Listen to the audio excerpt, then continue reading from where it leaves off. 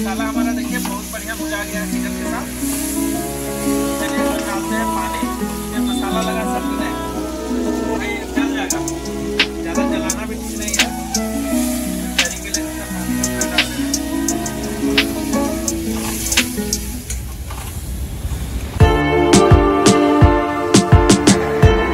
नमस्कार दोस्तों, स्वागत है मेरे नए ब्लॉग में। सुबह का नौ बज गया भैया। और हम तो यहीं आ गए हैं। रेशम सिंह का पार्किंग में। तो हमारा, देखिए एक्सेल का उधर काम हो रहा है। तो अभी इसमें एक दो दिन टाइम लगेगा भाई। क्योंकि यहाँ से खुल के जाएगा, फिर बन के आएगा रिपेयरिंग होकर कहीं से रिपेयरिंग होगा या चेंज होके आएगा। इसमें एक दो दिन का समय लगने वाला है अभी हम लोग का। तो चलिए बैठे बैठे खाना बना लेते हैं तब तक, क्योंकि कल भी नहीं बना पाए थे। होटल में ही खाना पड़ा, कल पर तो हम लोग को दो दिन। तो भाई, यहीं पे चिकन मिल रहा था तो चिकन ले आए हैं। आधा किलो चिकन ले आए हैं। दोनों भाई के लिए हम लोग के लिए बहुत है। उधर में हमारा चावल चढ़ गया है। चले तो भाई चिकन बनाने का तैयारी करते हैं।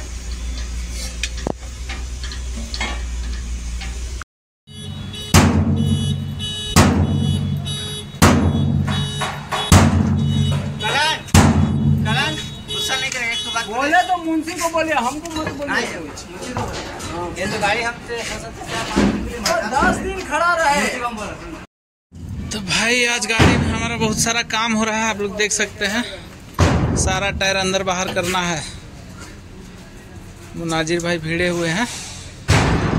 और भाई, एक और लंबा काम हमारा निकल गया है, आप लोग देख सकते हैं। ये जो ट्यूब है ना, ये ट्यूब पूरा है, देखिए। टूट गया है।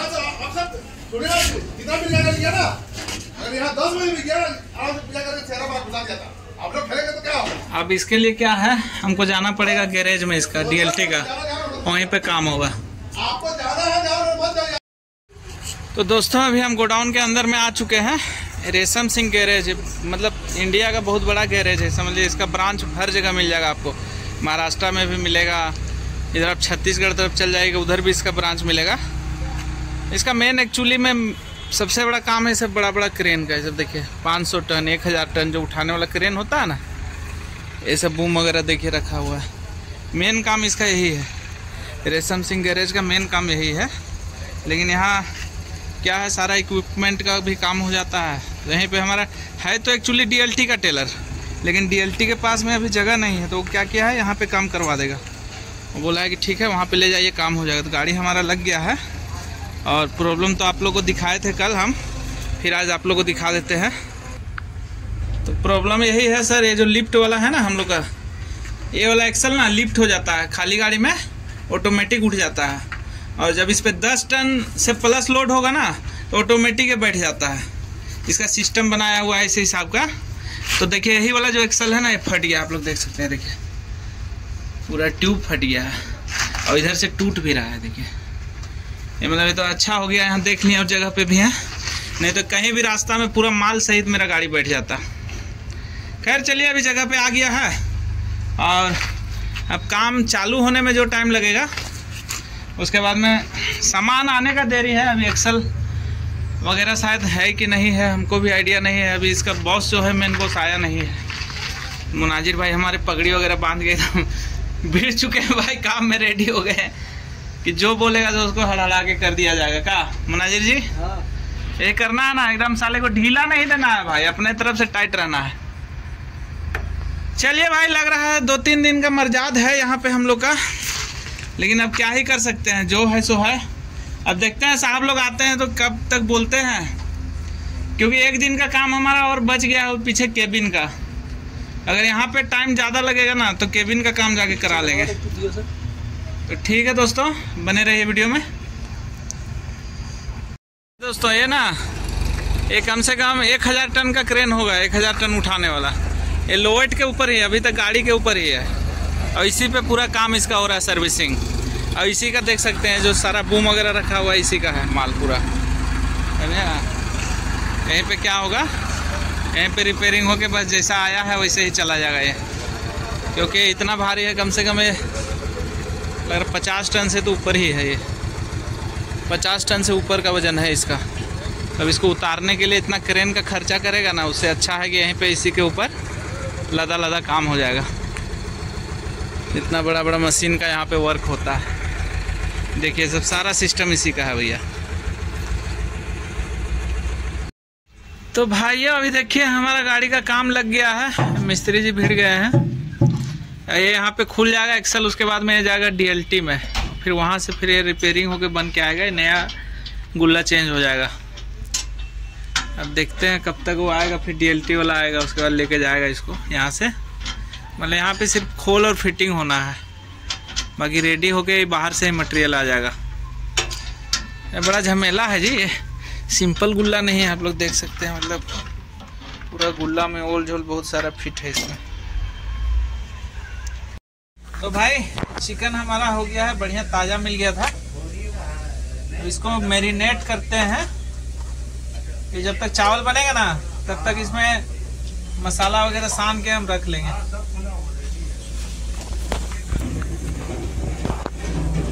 तो भाई, इसमें डाल देते हैं थोड़ा हल्दी।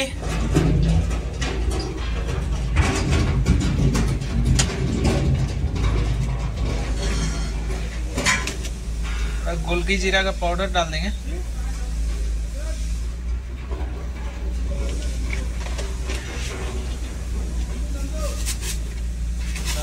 नमक।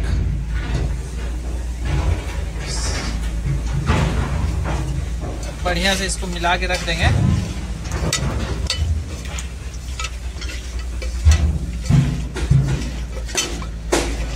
से क्या है ना भाई? हमारा चिकन बहुत लाजवाब बनेगा।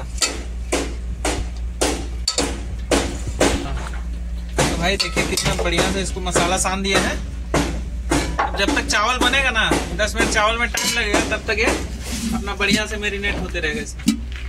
चलिए, इसका रेडी हो गया है।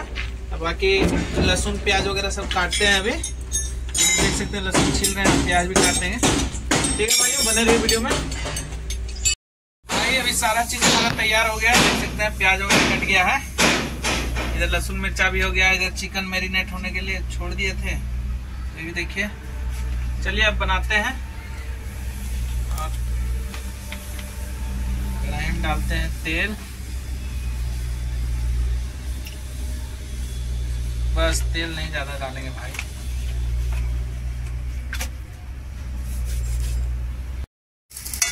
भाई, प्याज हमारा देखिए हल्का लाल हो गया है, पूरा लाल नहीं किए हैं, क्योंकि इसके साथ में ये भी भुन जाएगा। लहसुन और मिर्चा जो हमारा कूटा हुआ है।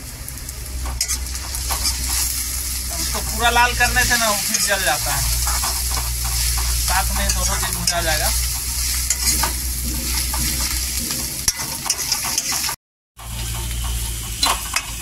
चलिए भाई, प्याज हमारा लहसुन वगैरह तो तैयार हो गया है। इसमें डालते हैं चिकन।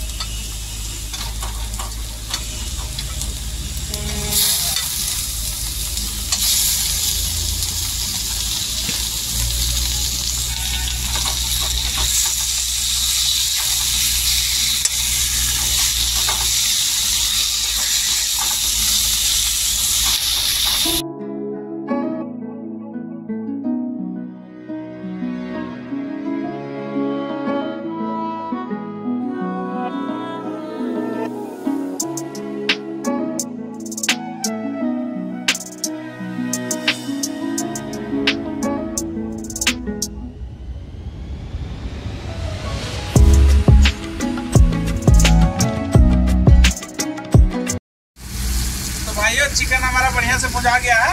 अब डालते हैं इसमें, देखिए, मसाला। ये गरम मसाला है मिक्स मसाला है।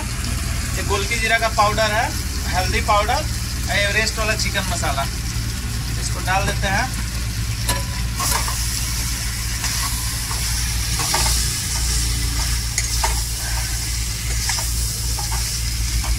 थोड़ा सा पानी डाल देंगे तो मसाला क्या जलने लगेगा।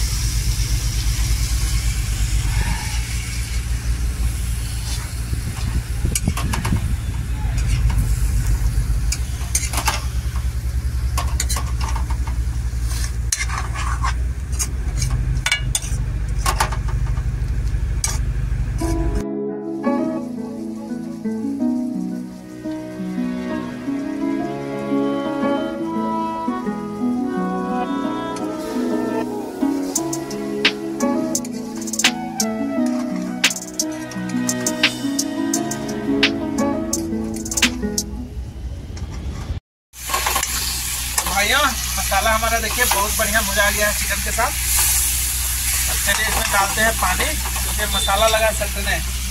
तो भाई, अब जल जाएगा। ज़्यादा जलाना भी ठीक नहीं है। तो तरी के लिए जितना पानी रखना डाल दे रहे हैं।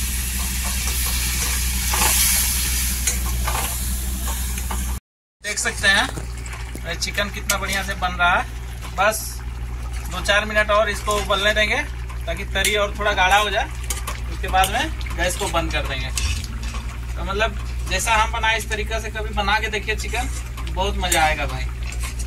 मतलब ये सब चिकन को ना पहले अगर मेरीनेट करके बनाइएगा ना तो बहुत मस्त बनता है।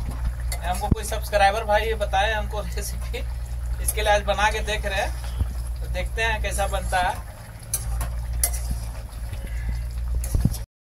तो भाइयों, देखिए चिकन हमारा मस्त बन के तैयार हो गया है।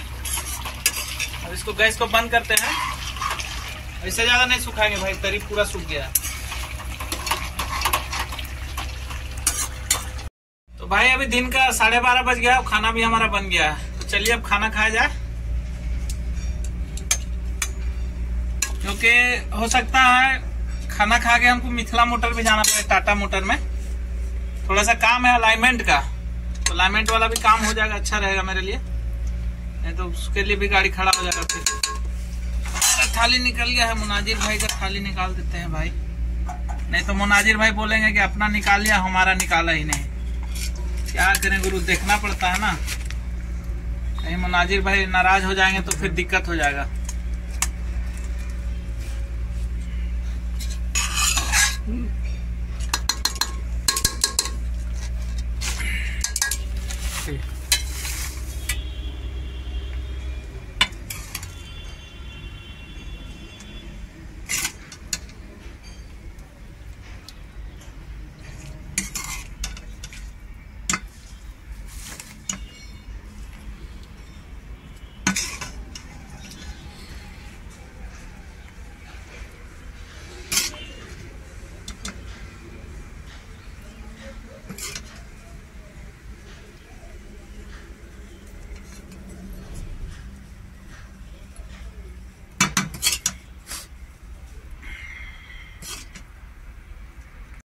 तो भाई खाना हमारा अभी निकल गया है, देख सकते हैं। इधर सलाद भी काट लिए हैं, टमाटर और प्याज। चलिए भाई, अब खा के टेस्ट किया जाए इसको।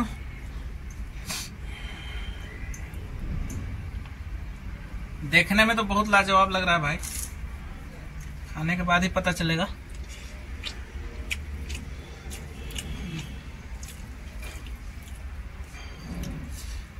बहुत मस्त। तरी तो इतना शानदार बना है ना भैया?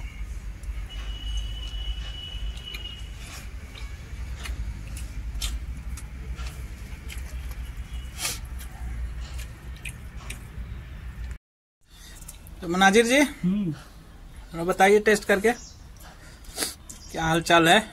क्या कमी है क्या ज़्यादा आप ही ना बताइएगा। देखिए हमारे मुँह से तारीफ़ करने से नहीं होगा। मतलब क्या है? कमी है कुछ? हाँ? ठीक बना है। ठीक बना है कि बहुत बढ़िया बना है? बहुत बढ़िया बना अरे भाई देख लिया ना भाई मतलब अच्छा नहीं बना है गुरु। मुनाजिर भाई का मुँह से सच्चाई निकल गया। चलिए कोई बात नहीं नेक्स्ट टाइम मुनाजिर भाई बनाएँगे।